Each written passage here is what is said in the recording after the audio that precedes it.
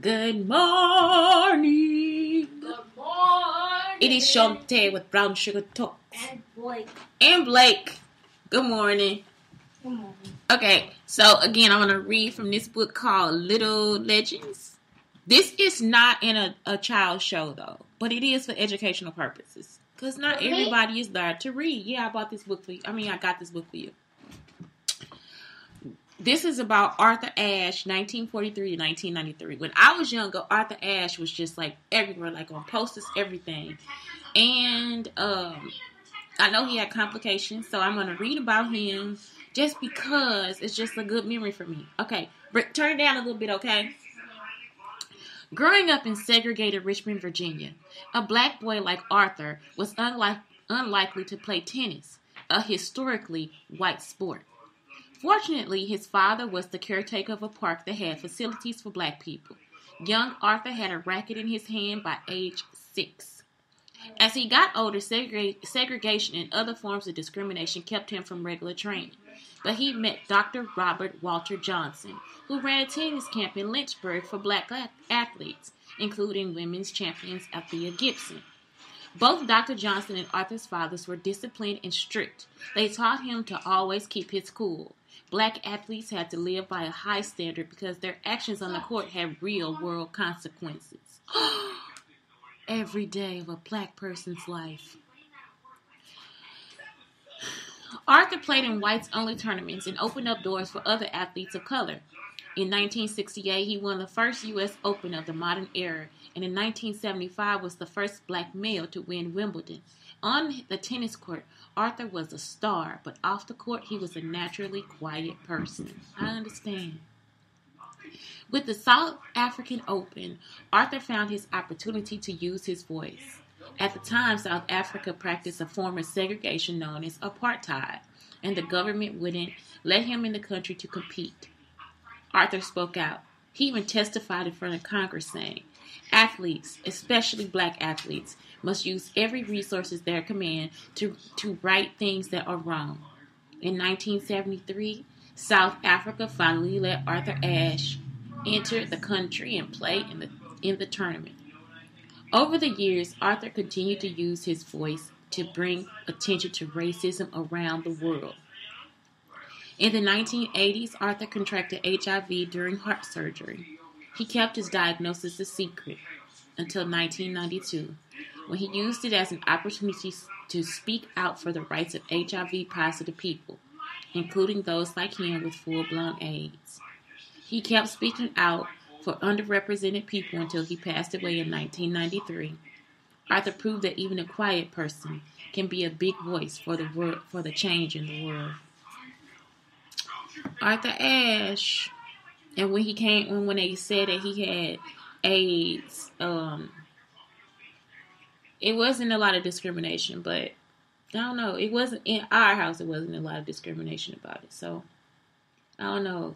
And then I like to tell the story about California. So in California, they had these stories, like they had these doc- documentaries, and they would show like how people would die of AIDS. Like it just like yeah. And I was like what sixteen.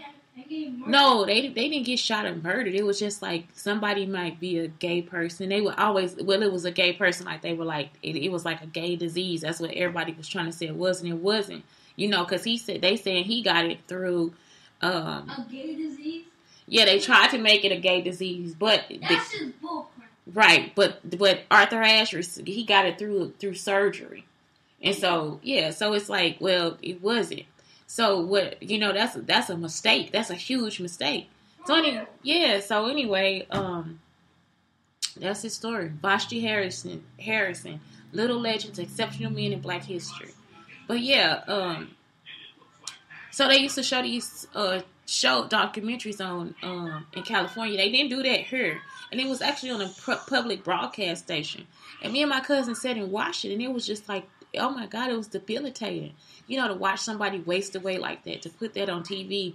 And I guess the person did want want it to be done, and I'm glad that it was like that because I would not have had a chance to have empathy or compassion or knowledge about you know how somebody would actually like just lose their life and i mean the the guy just it was all documented You know, um, from when he was like a heavier guy to when he be- became so thin and just he looked like a corpse already before he had died. And so I don't know. I think some things like that they could be important. I don't know. It was important to me. Um, I don't know. I, I, I, I just I just understand. So anyway, today I'm gonna talk about a boost, like boost for your mental health. And all of these things, y'all, I just get off Pinterest and I just add my own things to it. So anyway, so mental health. Um, and this is from Rock It Mama's ta- mental health task list. So Monday is a motivation day. It's a focus. Set a goal, write it down, plan first steps. This helps me so much with my anxiety too. It's ridiculous because a lot of people don't realize that when they take information and don't give it to you, if they try to hide situations or if they try to uh, play games and all this, they don't realize that that's you know that that actually causes you to have an anxiety attack. Like they just because that for them is just a joke. It's like, oh, we're just laughing about it. I hate seeing pranks and stuff because I'm looking at these people and I'm like, I know right now you probably have an anxiety attack. Like I'm looking at, I'm just like, I know you are probably, you know, going through an anxiety attack, and sometimes you can see it on their faces and all this different stuff, like the flustering. I've been through all these steps, so it's like I kind of look and I could be just like putting my problems on them too, but still, it's like sometimes I look at it and I'm like, no, I would be having an anxiety attack. You know, I would start to get sweaty or I would be hot or something like that. So yeah, a lot of people they just think, oh, it just it's just a joke. I'm just talking words and uh, and it's like no, you actually causing somebody anxiety, thinking that you are entitled to this position or thinking that you are entitled in a way for you to be able to speak to people like that. It's like no, you don't do that. You know what put you in this high position or this hiatus? I called um again, I'm still trying to get away from here. So I was trying to call like domestic violence places, right? They kept writing my call. So they routed me to this woman, and this woman was just, and this was just the other day. It was like, what, a day ago. Yesterday I didn't call anybody. So yeah, a day ago. So anyway, yeah. So they routed the call, and the lady gonna get on the phone, and it was called a live. You see what I'm saying? Like they, and they, or well, these are supposed to be reputable, reputable places. So it's called a live. So the lady um, gets on the phone and she starts um, asking me what happened. And I tell her the details of the story. I always tell people the details of the story. This bitch gonna say, "Well, what if they followed you? Like we can't help you because what if they fo- you are a domestic violence place? You know that they going that they might follow us. You see what I'm saying? So it's like so many people with misinformation about the situation. You know they're gonna follow us. You know they're gonna try to follow us. That's the point of us going to a domestic violence shelter. That's the point of us getting away. Because usually, if it's a domestic violence shelter, they don't tell anybody where you are. They don't let people know anything about you. So this lady's like, yeah, if they followed you all those places, why wouldn't they follow you here? You are domestic violence shelter. You see what I'm saying? So why even reroute me or put me in these situations when that's not even it's not feasible? This is a domestic violence situation.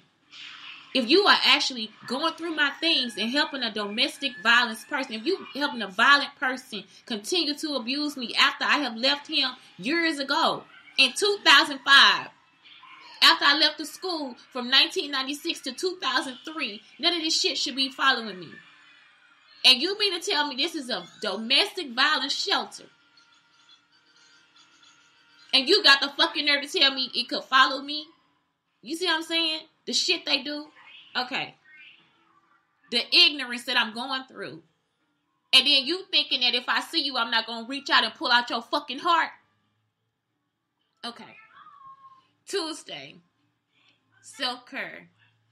Take a bath, meditate, get a get a pedicure. And you can do these any day of the week. I'm just writing. I'm just reading what I see. But I say that too. My son, yes, he likes his look. He, we haven't been able to get a pedicure, so he's like, "Mom, make me my foot water." and so he gets like lavender and Epsom salt, and I got like eucalyptus Epsom salt. Eucalyptus is so good for your shower. Like if you guys get a chance to make bath bombs, anything like that, just even like put it in the shower, like in a cup or something, so you can smell it when it's like activated. I don't know if that work yet, but I'll try it and tell y'all. But I'm just saying, I think eucalyptus is just like the shit. You know, like I love it. It just smells so good to me. So, um, yeah, do that. You know, meditate. Get yourself together. I say meditate every day. Don't just meditate once a day. Meditate every day if you can. If your brain can actually take a break, let the let your brain do that. Okay. Um. Next Wednesday, a digital detox. Take a night off from screen time. I got this from Oprah a long time ago. Don't put a TV in your bedroom and don't put um and I don't really take devices up there either. In my room it don't have anything. Like it don't have it all I got is like a, a um um a humidifier what is this thing called? Anyway, the thing that like gives out scents like eucalyptus and rain water and all that different stuff. Anyway, like I put it in I don't know, what do you call these things? Anyway, here go one. Amazon. I'll put the link below. But anyway, yeah, it's like um you could actually just do it. Like it's like I I got one of these under my bed. It's a bamboo one, and I got it from um, the Amazon sale. You know, I got it from that when they have a big sale in the middle of the year, or whatever. Well, it's this month about October. So anyway, I got this one that way too. But I love these things. I do. Um. I like the scents. Like I like lavender. I like eucalyptus. I like paradise in park. I don't know, whatever it is, but it makes the house smell good. I like coming in the house and it smells nice. It's like, whoa, this is this is good stuff. it's good. You know, it just smells so nice. So yeah, just do that. Yeah. Is, is that like the thing that go on a on a Minecraft? Mm-hmm. I think he made that up. This man, okay, y'all, listen to this story. So this man, he makes this dragon fire mod for Minecraft. He wants you to pay his Patreon ten dollars for you to be able to download it.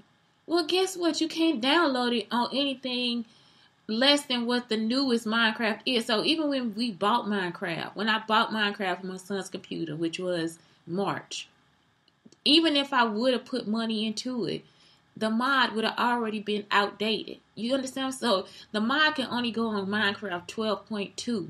And they are already in Minecraft 13.3 or something like that. Like it's crazy how it's all spaced out. When we bought the computer, it was already uh, 12.5 and it wouldn't have been able to go on the Minecraft.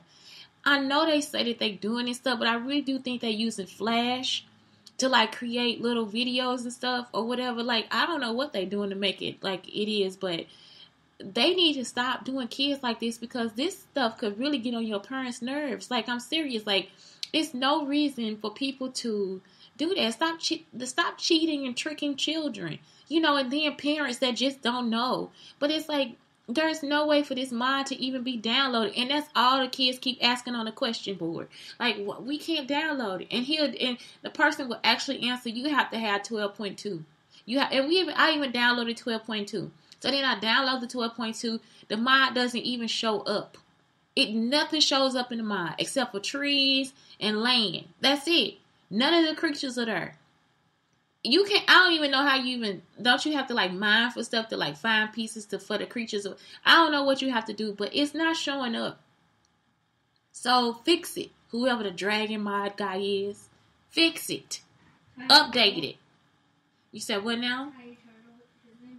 Tiny Turtle. Tiny Turtle updated. And I want my money back too. You do not deserve my ten dollars. Yes. Chris, Tiny Turtle, stop juking children out of their damn money.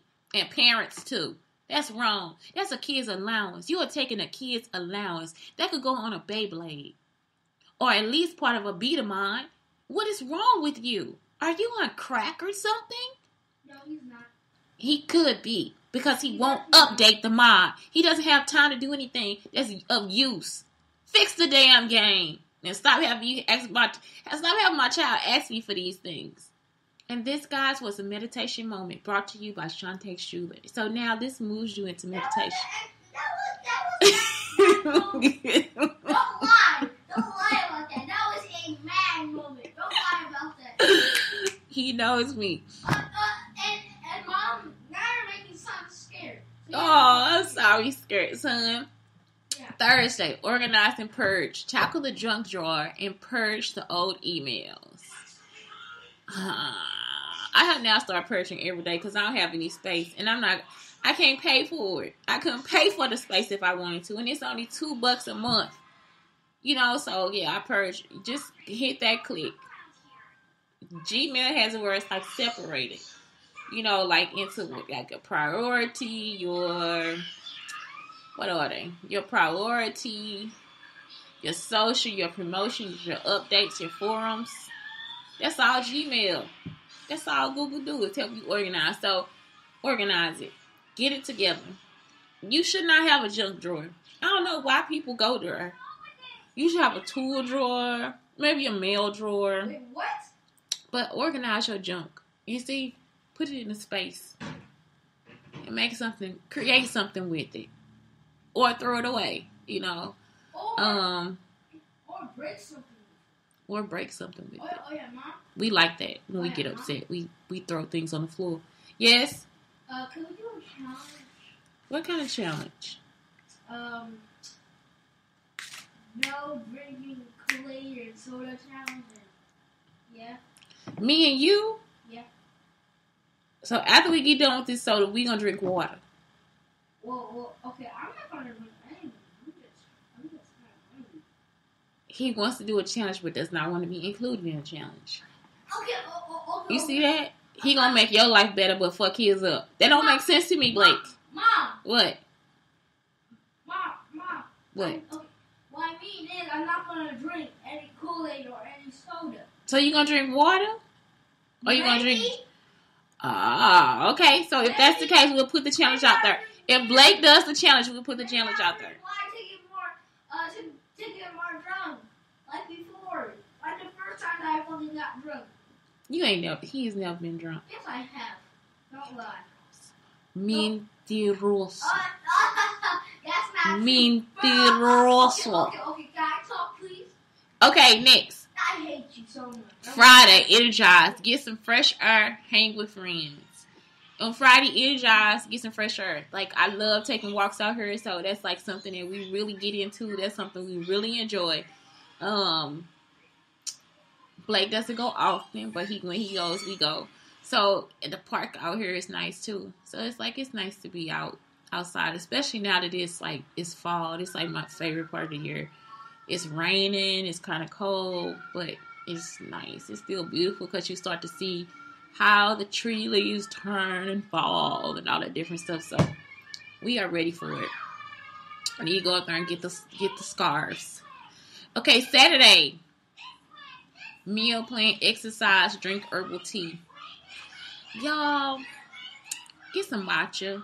And also, if you can get some premium tea, like for real, if you in Texas and you can still go to Central Market, get you know go get the tea in the bulk. That stuff was so good. Like my favorite one, I think was like a peach something. It's like because they infuse the teas a little bit more, and so it's like you get the more you get like a little bit more flavor than if you do from when you put it in a little sachet or whatever. I just love that because I could get tea for like you know sometimes ninety cents, eighty nine cents. 85 cents, you know, like just get a little because it's just me, especially if you're a single person. Really utilize bulk stores because you can get as little or as much as you need, you know. Um, even if you're a family, you can get a, as little as much as you need and it'll be for a cheaper price. So, like, when buying from the bulk things, I guess that's something that maybe they don't, they probably don't have it right now because of COVID, but I mean, seriously, like bulk is like the shit for me. You know, it's, it's because you know I just get to um because it, it's like it saves me money. Even now, I still have to I still have to actually buy like I'm a single person because there's some things we just don't we don't eat. You know, uh, we don't eat it right away, and sometimes it goes bad or it's been there for a while. We don't know that it's so that it's stale. we know stale, okay? And sometimes we actually like stale, you know, but it's like, yeah, sometimes we have things so long, it's like, oh my God, it's just stale. So now I try to like consume as much as I can and then, you know, go to the grocery store, whatever, of that product that we use. But bulk is like awesome, like, especially if it's something that y'all eat like every day, you know, like seaweed. I have a seaweed eater here. He eats seaweed like it's grass, like he's a cow just eating the grass. And um, then he likes that. Now he likes those like coconut water. So it's like, yeah, some things I really do have to buy in bulk because he eat them a lot. Like he eat it all day. But then there's other things I buy and I'm like, oh my god, I wish I could share this with somebody. Um, so then you know it helps when it's like open bulk, and then I can get things and I don't have to pay full price for the product. Like rolled, like uh, let me think, uh, oats. Why? What is those things? Um, steel oats, things like that. Because we don't eat, we eat oatmeal, but it'll be like we used to consume. We used to eat oatmeal like every fucking day, but now it's like we just eat it every once in a while. So it'd be nice to have like steel oats, some good ass oats and just be able to pay a, a, smaller price for them, a cheaper price. I know they already cheap, but I want it cheaper. So anyway, yeah, just make sure you do that. Make sure you plan your meals, plan out your menus, all those different things. Think about what the weather is bringing. I usually fast around this time, so November, December is my time where I don't drink a lot. I mean, where I don't eat a lot, I drink a lot, and that's why next month I'm just all about the milks, like wild up milk, um, almond milk, hemp milk. Um, I'm just all about all these different things. Um, just because, like I said, it's, it's um, I just don't I don't eat a lot at this point, and I don't know who else could do that. I think sometimes you have to actually do your your body's fasting or whatever. Like, I just don't. I don't know. I'm just not hungry. So anyway, let's move on to the next one. Um, Sunday is gratitude day. Use a journal to document highs, eight positives from the week. Um, I like that. I love.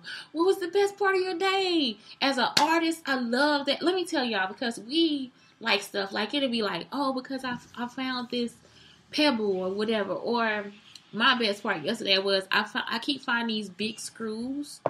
Um, and actually I found nails, and just because I can't get to the hardware store, and I like finding things outside, like I do, like out here is like so much like metal and stuff. Like I could totally do a whole art project. But I found another one too. I have another one, so I have two of these now.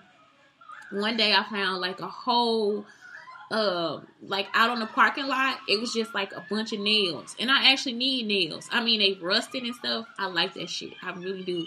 And I got this stuff that will actually take the rust off. So, um, this chemical is, I forgot what it's called. One day I'll talk to you about it, but it'll actually take the rust off the nail. So, I completely just love finding stuff like this. Like, I don't know why, but it's like, I don't know when I'm gonna need it. One day I found like a bunch of hooks and I put them in the garden. Like I made this little basket thing in the garden, but it's not working for anything. But still, it's like I like to take little things like that and make stuff with it. If I come up with an idea, like I could totally wrap wire around this and maybe make like a necklace or put like flowers or something on her to help it be a necklace. That'll be cute.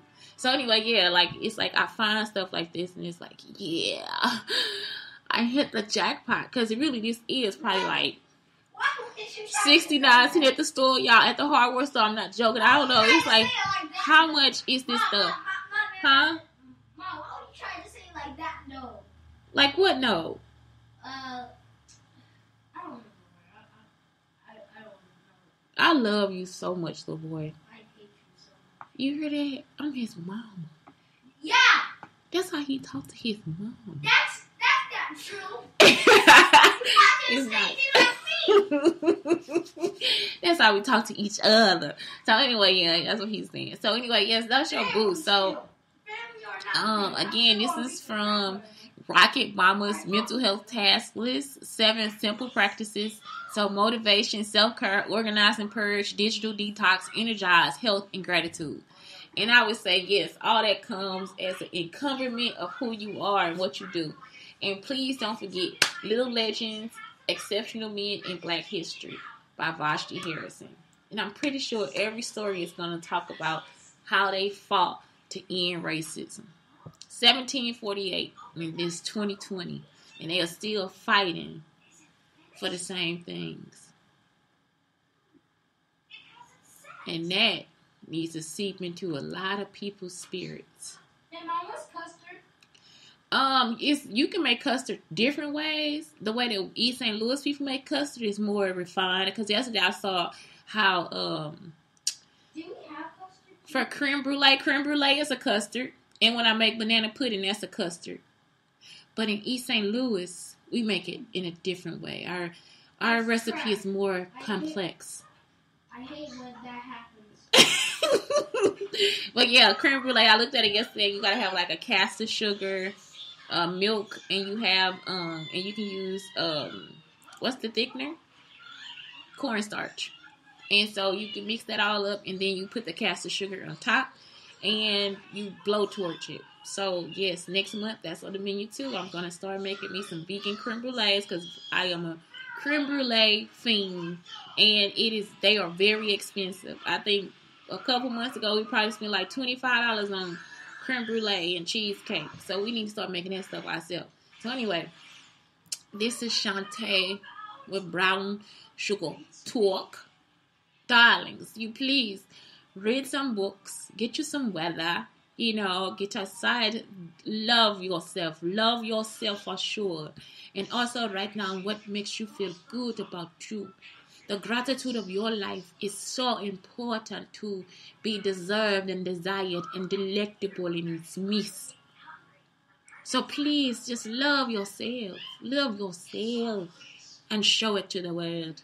And if they have anybody anything to say about it, fuck them. If they can love you like you love you, bitch, you don't need them at the fucking hall. Anyway, it's Shantae. Have a good day. Have a good, good day.